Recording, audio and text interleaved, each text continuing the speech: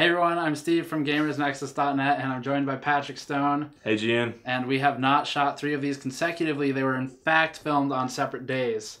So today we're talking about PC troubleshooting and specifically some of the most common practices to troubleshoot basic issues like no video output Mm-hmm. or fans spinning up and then spinning down again, Oh boy. things like that.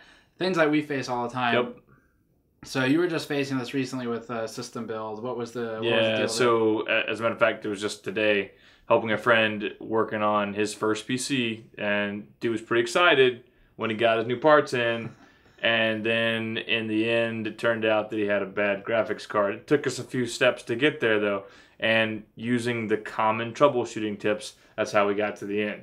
So, like, what's maybe one of the most common things that you would say, hey, check this? Well, cables, power cables. Mm-hmm. The amount of times that I have personally overlooked the CPU power header is nothing short of embarrassing.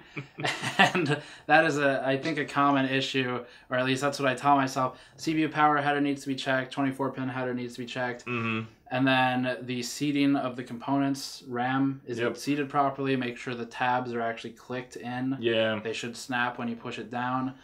The video card often needs to be reseated. Mm-hmm.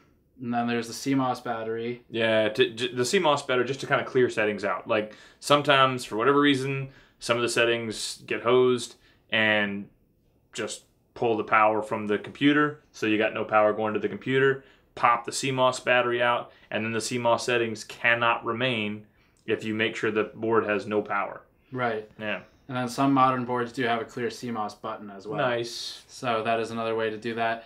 So those are the probably the basic intro things I would do Mm-hmm. before looking at things like if it's a modular PSU, make sure your connection is one in the right spot. It Yeah. shouldn't, shouldn't be possible to plug it in elsewhere, but Usually keyed. you can you can force it though. Mm-hmm. And then also make Seen it. sure it's it's actually seated. Yeah, yeah, it's like all the way clicked in. I've, I've actually seen that on the ATX 24 pin main Right. power where it's kind of like crooked in the connector, so there's kind of a gap on one Right. side, and that connection isn't solid.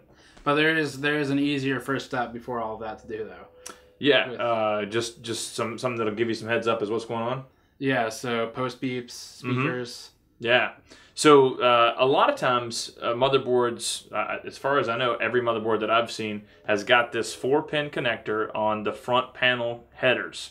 The front panel headers, the places where the, the reset button is, the place where the power LED is, hard drive LED, and the power button. Right. There's there's a speaker connected there too, and it's it's four pins wide, but you really only make use of the outer two pins, mm. and you plug in just this little what we call a PC speaker, and it's like it's going to give you some beep codes if things are going well, and a lot more beep codes if things are going poorly. Right, single beep versus many beeps. Exactly, exactly. And a quick clarification here because I've seen it on our forums before. Plugging in your actual speakers or headset to the 3.5 No. jack won't produce this. Mm-mm. The sound you need a specific PC speaker that plugs into the board. Yeah, and it, it on some motherboards they include it in the motherboard accessories package, and in other cases they include it with the actual case in a little plastic bag with other accessories.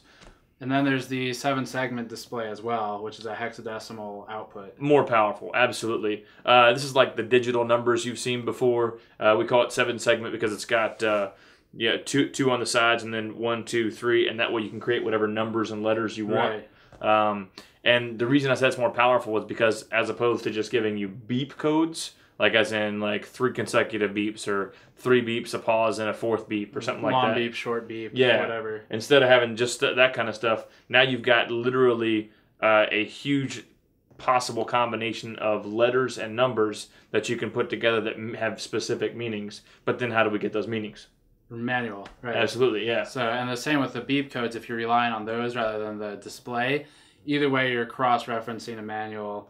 And for the beep codes, there are BIOS or UEFI manufacturers or vendors, we'll Mhm. call them, like Phoenix, Yeah. AMI. Mhm. So you'll check those vendors for the beep codes if it's not available in your manual. And then for the seven segment stuff, you just go straight to the manual yeah and see what does it mean. and a, a lot of times it's it's fine to have your paper manual out and you can reference paper manual but maybe you can't find exactly what you need right away uh, pro tip just Search. yeah use pdf use pdf and search it absolutely right Other than that, I would say if, if things are still going poorly, you running through the list again want to check the connections, just redo all of them despite thinking that you may have done it right. Yep. Just redo it all. Take take our advice on that. Check the CMOS battery and reset it just to be sure. Do RAM seating.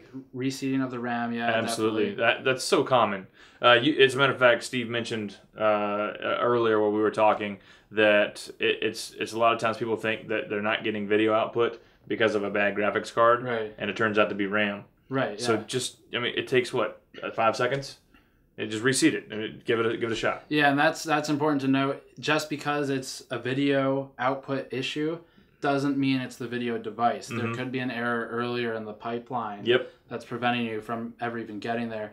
And if none of this stuff works, you have to start going bare bones, which depending on who you ask might mean different things. But in, in my opinion, there's only one proper meaning of bare bones, The essentials. and that's to go down to the CPU, Yep. one stick of RAM, and if you don't have an IGP or an APU, then your video card is, Mhm. is essential in that case. Otherwise, eliminate it and use the onboard video. Yeah, and of course the motherboard is the platform, and you got to have power going from the power supply. Right. So those five things really.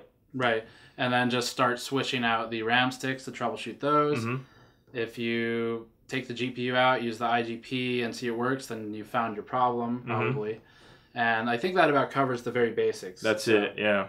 So check the link in the description below for more information. We'll try and do a couple more of these if you have specific questions. So if you have a troubleshooting question or maybe something that you've solved and think Yeah. would be interesting, Share it. share it and we'll we'll do a video. As always, check the Patreon link in the post roll if you like this kind of content, and we'll see you all next time.